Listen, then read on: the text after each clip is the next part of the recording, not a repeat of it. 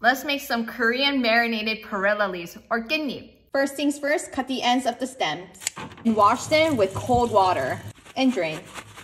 Now for the sauce. Minced garlic, some green onions, shredded carrots, roasted sesame seeds, soy sauce, water, fish sauce, choice of sweetener, sesame seed oil, add gochugaru or Korean red pepper flakes, and mix until well combined.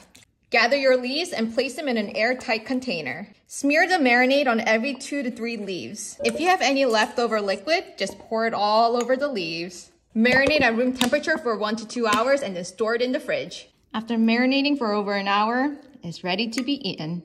I'm gonna eat it now with some rice. Enjoy! Mm-hmm.